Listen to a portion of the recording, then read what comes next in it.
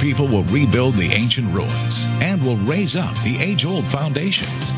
You will be called repairer of broken walls, restorer of streets with dwellings. Isaiah 58 12, NIV. Welcome to Outreach Connection, focusing on topics and issues that reach our communities with the love and power of Jesus Christ. Well, welcome to Outreach Connection. It is a pleasure to have myself come into your home or wherever you're at watching the program here. My name is Gary Schluckebeer. I'm the host of Outreach Connection. We are, that's what we are exactly what we're doing. We're reaching out to those who don't know the Lord Jesus Christ, but we're also reaching out to show you different programs, different ministries, all across in, in our area, and not only that, all across the country and world as far as that goes too, to, uh, to show you that there is help out there. Well, today, I'm really excited about having my guest with me. It's Representative Lindell Shumake. He is the uh, uh, representative from the Missouri di- District of Five of the Shelby, Marion, and Monroe counties with it. And, and Representative, thank you so much for being with me here today around the table. Pleasure to be here, Gary. And I know we've got some things to talk about. I, I tell you, you, have just generated me here as we've talked a little bit, and, and some of my prep work that I've done to to see what you have done. And I'm just going to start right off with uh, with your House bill number 282 that you sponsored and everything, and, and, and just jump right in here and then let let's talk about that and and maybe some other things that you want to talk about too. Let's begin. Well, House Bill 282 is really a very simple bill. When we say that down there, people kind of chuckle, you know, because yeah. sometimes the simplest bills end up being complicated. But basically, what this bill says, and we can read right from the text, it says, bill, uh, books of a religious nature may be used in the classroom as a part of instruction in elective courses in literature and history so long as such books are not used in a way eh, so as to violate the Establishment Clause of the United States Constitution. Okay. Very simple, but I believe far reaching. Okay, now talk to us about that a little bit. What is that saying? Basically, it's saying really what the fact really already is. And I'm sure you realize, along with a lot of people, that uh, our rights that we have as American citizens, oftentimes because of courts and things like this, have, well, it's been clouded. And sometimes our understanding of what we can and can't do mm-hmm. in um, public settings, such as in settings such as public schools, are uh, influenced by news stories that we read and case, court cases that have come okay. up and so forth. Mm-hmm. But basically, I'd like to begin the discussion back when uh, things like prayer and Bible reading were, as we say, quote, taken, taken out, out, of mm-hmm. public schools. 62, 63? 1963. It was a Pennsylvania court case of Abington Township versus Schempp. And what happened during that time, uh, many of our older viewers out there will, will remember a time when you were in public school that in the, the morning and school started, you had prayer, you had Bible reading, maybe the recitation of the Lord's Prayer, like that. And suddenly it stopped as a result of this case. Mm-hmm. Well, what this case actually did, it never was compulsory in the public school, even before that, for students to participate. They could always opt out. So you and I and the viewers of this program certainly would agree that this should never have happened in the first place mm-hmm. because no one was compelled to participate in it. Right. And by mere by prayers and reading of Bible, recitation script, that's not the establishment. That's not what the founding fathers were talking about when they were talking about the establishment mm-hmm. of religion. In other words, the, we were not to have a state religion. That's what they meant by that amendment in our U.S. Constitution. Well, what people don't realize that with that case, the prayers really wasn't altogether taken out of the school. Neither was the use of the Bible taken out of our public schools. Okay. And people have the impression that prayers are taboo, the Bible is taboo, Yeah, you did. can't bring it, you can't do anything. Yeah. If you do, you're going to be in big trouble, and all of this. But really, it's never been the case. Okay. What that case did, that Supreme Court decision, um, agree with it or disagree with it, and, and I happen to disagree with it, but it took out the devotional use of the Bible and prayers, state sponsored prayers. It never took out the right of the student to pray. Uh, all this time, a student could pray over their lunch. Uh, children could gather together in the hallway and pray. Uh, they could pray at free times and um, use of facilities, uh, Bible clubs, and things like this at times in which uh, public instruction wasn't going on. Uh, the facilities could be used and so forth. There, were, there was a court case about that, but it never really was removed. So this was a misnomer I believe because of many cases because I, I understood it that hey, you can't do that in school. You know, that's what I was understanding. Right, and I kind of had that impression too till I really started looking into it and the, the genesis of it.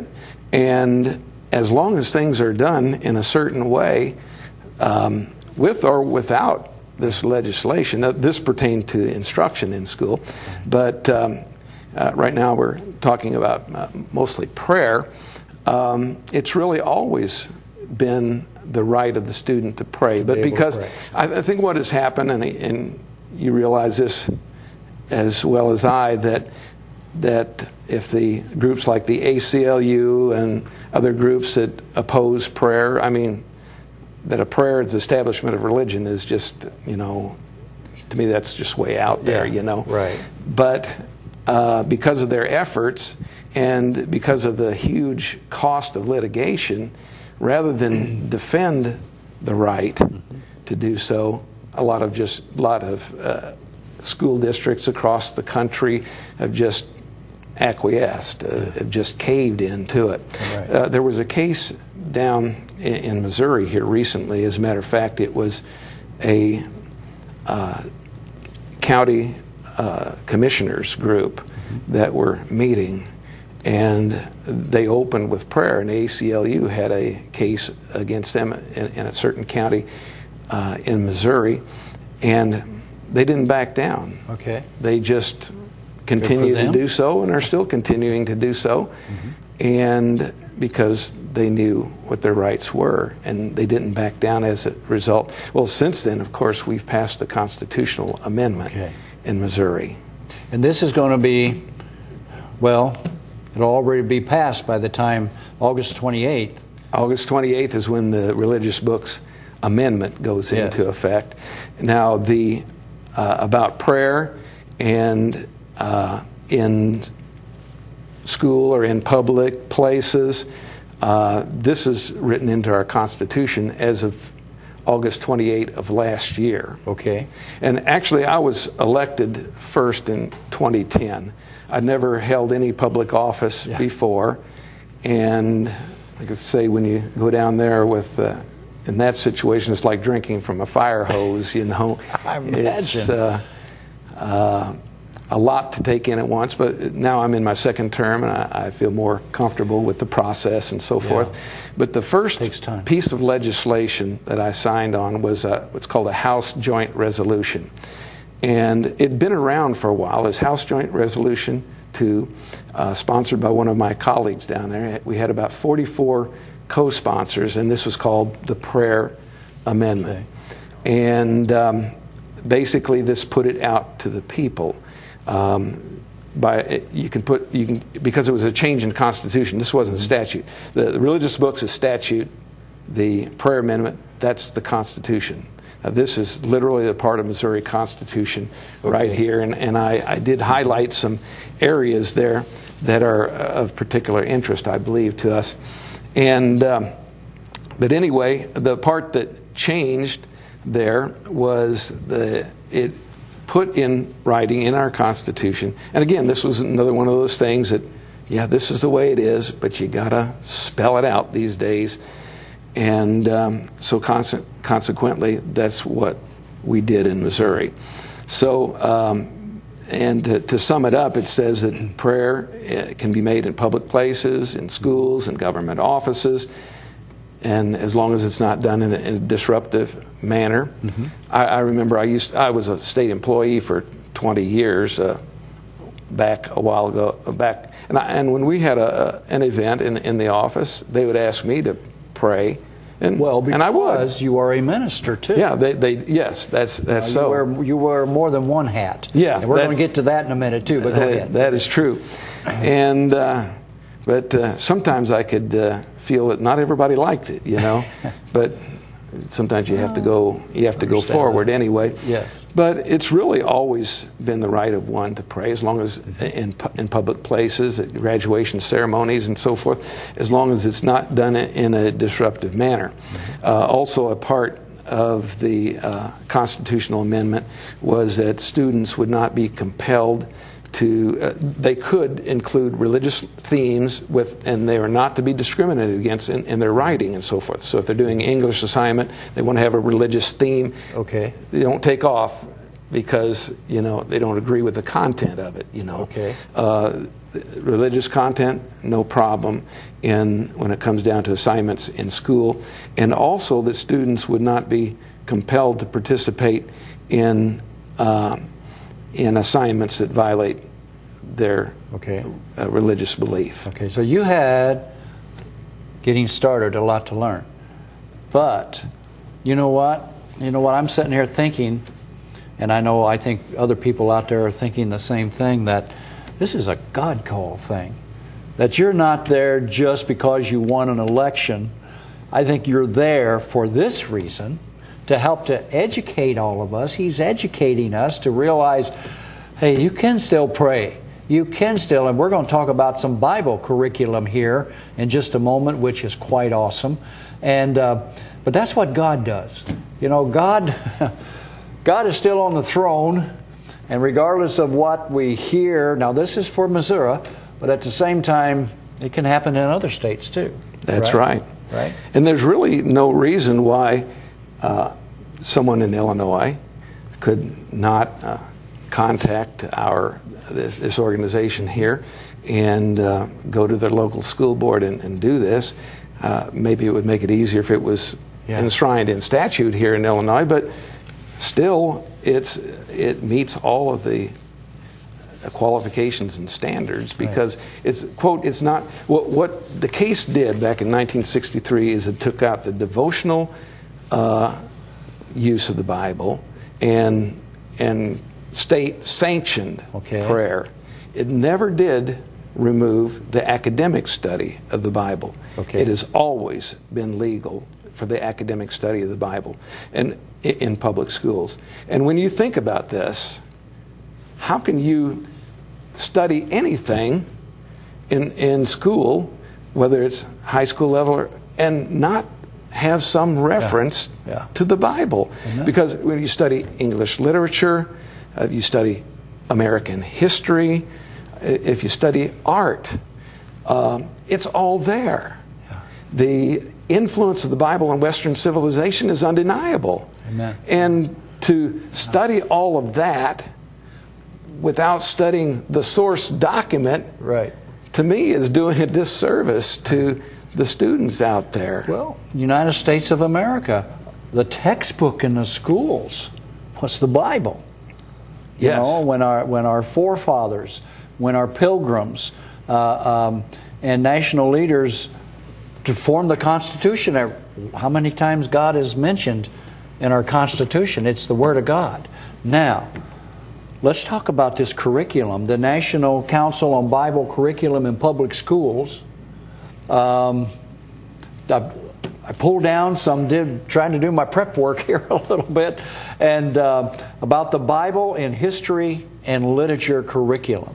Yes. Talk to us about that. Well, we didn't mandate. Got that, on the screen there right now. Uh, the the law was just what I read. The statute that goes into effect 28th day of August, 2013. It. Uh, said that you can do this, but it didn't mandate that, that public schools do this. It's not a mandate. And it's better that we do it this way, mm-hmm. that the local school boards, I, I, do believe in local control, and I do believe that those local school boards and the parents should get together and decide things like curriculum that they need and so forth that particularly serve their area. And so it's up to them to, to uh, incorporate a curriculum such as this.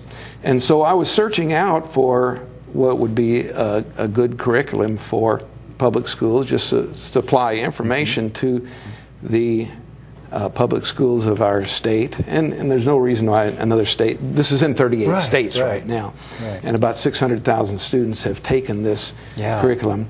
And I came across the National Council on Bible Curriculum in Public Schools, and I've been in contact with them, and they sent me a copy of their material, which I looked over, and this is good stuff. This is not a Mickey Mouse curriculum. Mm-hmm. It is good. It's, it's got uh, CDs, it's videos, slides, smartboard application, test, activities, and there's more things in here that, that a teacher can use and, than they could get in in the whole semester of study.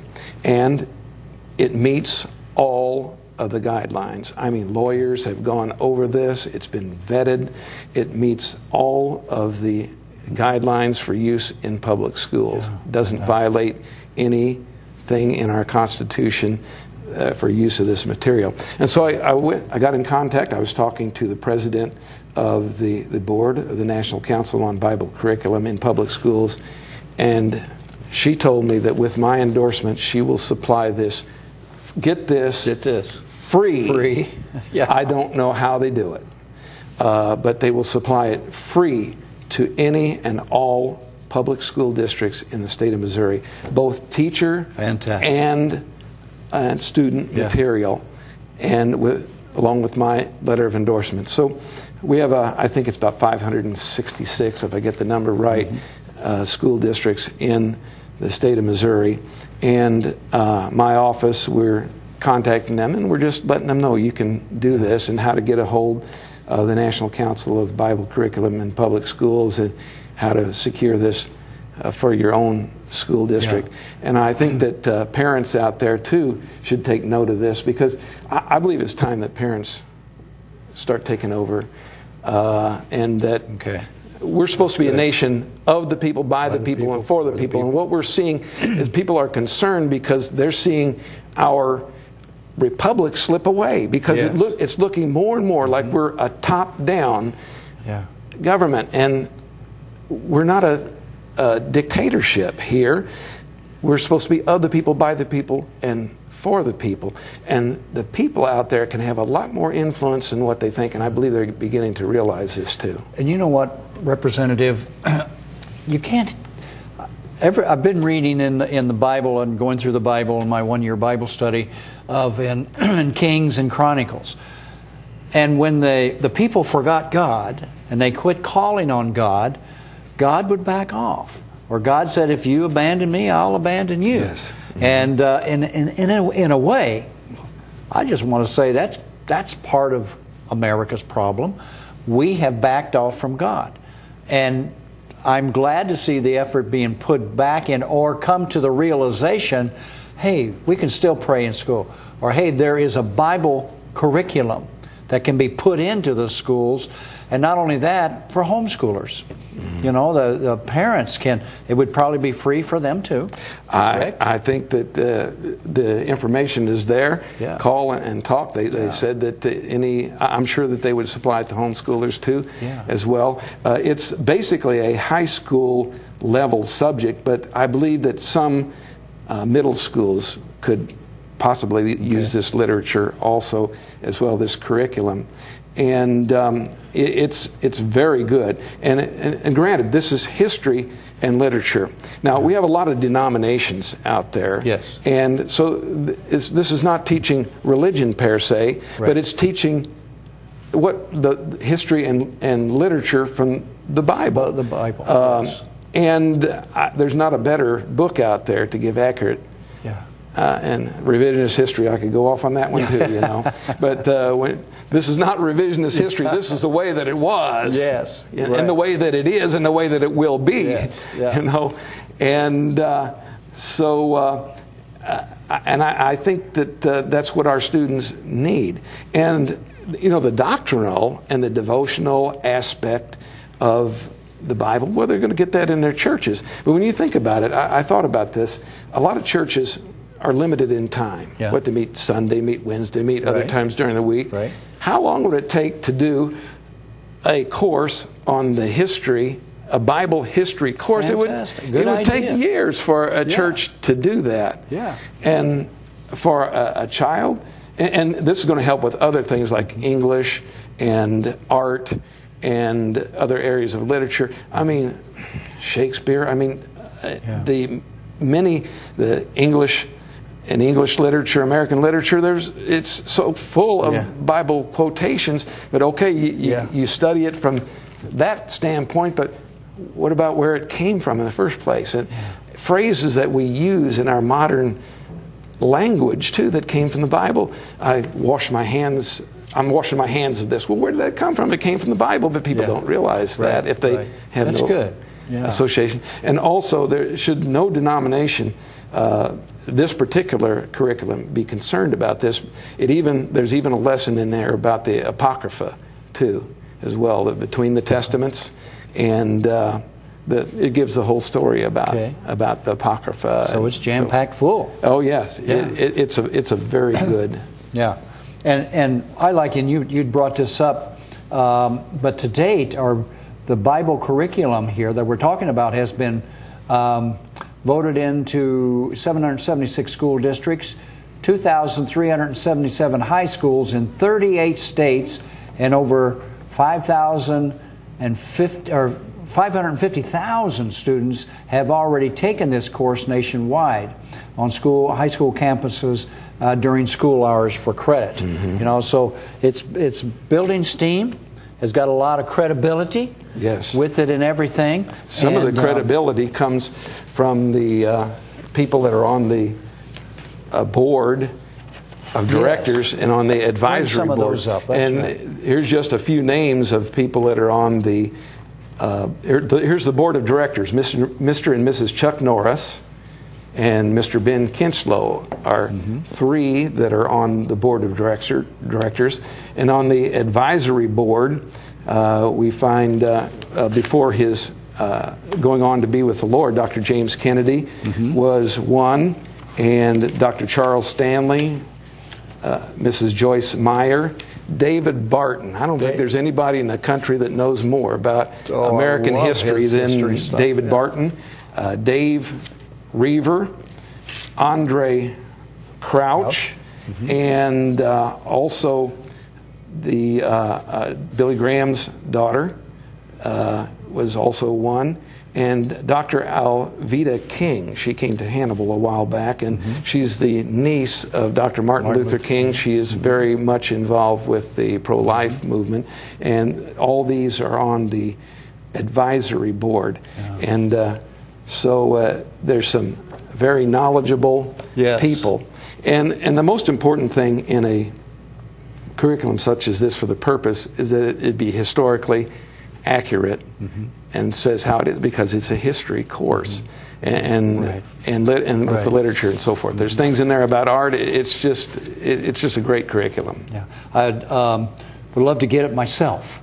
you know, the the teacher's companion guide here. All the information and, and all the material that you need is uh, is here for this. And I tell you, it's, it is awesome. It is it is exciting to uh, be able to um, hear about this. And uh, it's exciting to know that, and, and here it is. Here we've got it. Uh, what the front of the book. I love the picture. In fact, I downloaded the picture uh, just on a piece of paper, you know. Okay. And, and uh, but uh, here's the the book, the teacher's manual book here, and this is what it would look like when you order that and and and uh, get it. And uh, we've had the the order number and everything up on the screen there before. So uh, I tell you, that it's that's exciting. Um, God's still on the throne. Absolutely. I am, I am so impressed. I'm going to just say one more time, uh, Representative, you wear many hats because you're with. Uh, God's harvesters, God's harvesters down in Hannibal, yes, and uh, with going into prisons and everything, and helping to lead people to the Lord, to find Christ, um, to be able to get their lives back together, which you have seen over the years. I, you've yes. been with them many years, since uh, I've been involved in prison and jail ministry since 1976, yeah. and still am today. And yeah. right now we're in our uh, we're out of session, and so I'm pretty much free to minister, and I get all in I can when we're out of yeah. all the ministry I can when we're out of session, and even when we're in session on weekends. Um, but when we're when we're in session, our, our, regular services are during the week, and so I have to depend on the rest of the team to yeah. take care of business. And you were just here on Channel 16, just on Pastor Speak. Yes. And uh, uh, if if you watch that, you can find out what kind of a preacher man he is too. You know, uh, once a preacher, always a preacher. I don't care if you get voted into the House of Representatives. Right. You know, we have um, a couple of two or three representatives that are current pastors of wow. churches now. Fantastic. Right we have a couple of doctors, and we have so various professions. You there. probably have prayer meetings. We do.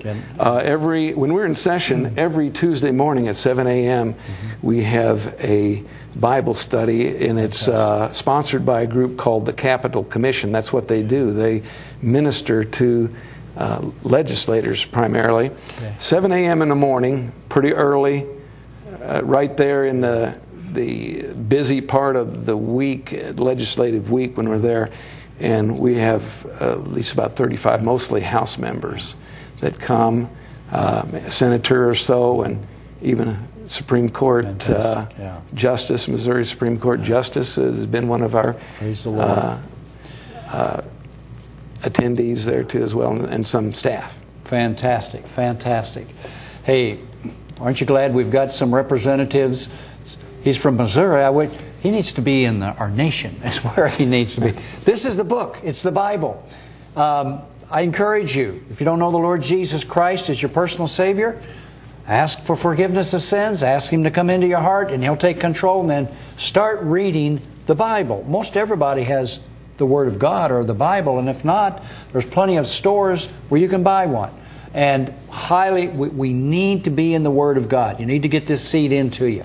Well, I'll tell you what, this has been a fantastic, exciting, informational program for me, and I am glad that you have joined us. Maybe you can tell somebody else out there in uh, your world, uh, hey, turn on uh, Outreach Connection. I'm Gary Schluckabeer, your host. God bless you for joining us. And, Representative, we're going to be in prayer for you. God bless you for Thank joining you so me much. around the table here. Appreciate A real pleasure, it Gary. so much. God bless. Thank you.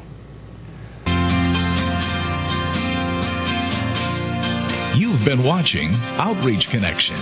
If you would like to contact this ministry, you may write Outreach Connection, care of CTN, WTJR, 222 North 6th Street, Quincy, Illinois, 62301. This week on Community Calendar. Special services with Usama Dadak. Muslim Evangelism Specialist. Sunday, September 8th, 10:45 a.m. and 6 p.m. and Monday, September 9th through Friday, September 13th, 6 p.m. nightly.